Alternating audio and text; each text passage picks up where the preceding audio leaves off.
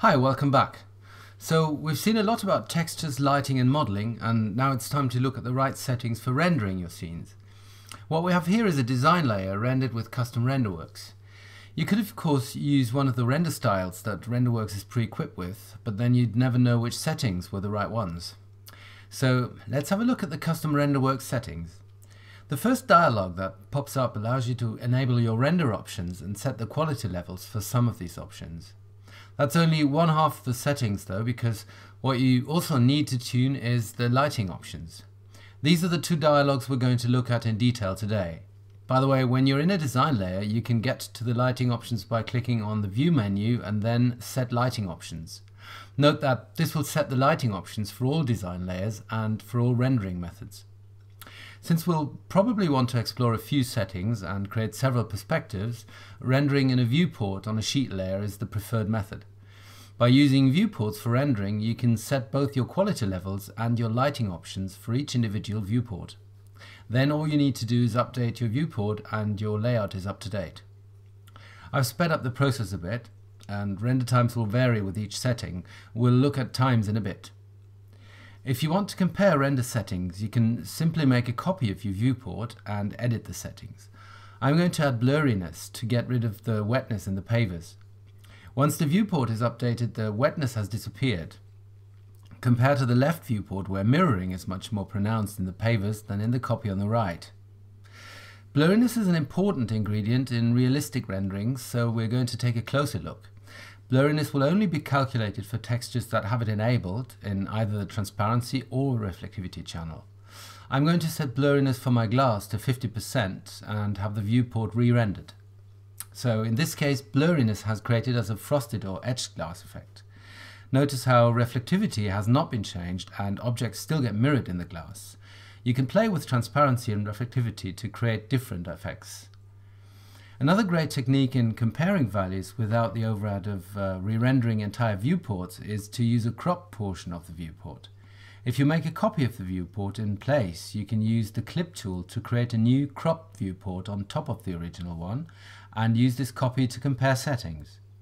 I'm going to change the blurriness quality to very high, create a copy to keep the previous result and re-render. Immediately the changed settings effect is visible. Blurriness is also important in rendering metals, where it influences the brushed appearance and in interior scenes where different levels of blurriness need to be applied to materials for that very realistic look. The next custom RenderWorks parameter I want to have a look at is anti-aliasing. It's needed to make objects and text appear smooth on screen. Compare the polygon icon on top with and without anti-aliasing. So let's go back to the exterior view to look at the edge of the window. It appears grainy because we have anti-aliasing set to low. Now let's compare my pre-rendered viewports with settings set to low, as in this example, medium, a little bit mm, but not much better, high with a marked improvement in smoothness, and very high with perhaps a slight increase in smoothness over high, but not that much. As you've probably guessed, these settings affect render times, so going from high to very high bumps up render times extremely without achieving another improvement in smoothness. This is different for different scenes, of course, and uh, an extreme example in this case. Now it's time to look at some lighting parameters. In the lighting options dialog, you have different settings for the number of bounces that are calculated for each ray of light. Higher numbers will improve the quality and definition of indirect light, especially in darker areas of the scene. Additionally, the quality of indirect light can be set in the custom RenderWorks options. The higher the quality, the more sampling points are used to calculate the light effect in a given area. Here's a scene showing different combinations of indirect light and number of bounces.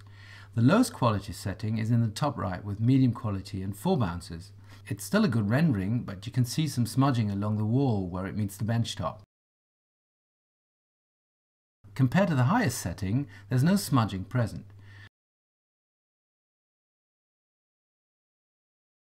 In any case, the general look, colours and mood are identical in both scenes, so even when you don't have much time to have results calculated at the highest levels, you will get presentable results. If you want the best possible result at the minimum render times, a combination of 8 bounces with medium quality uh, indirect lighting is recommended. It takes only about half the time of the very high quality settings and still produces an almost flawless result. This will vary with different scenes of course. So that's all we have time for today. Thanks for watching again and see you next time.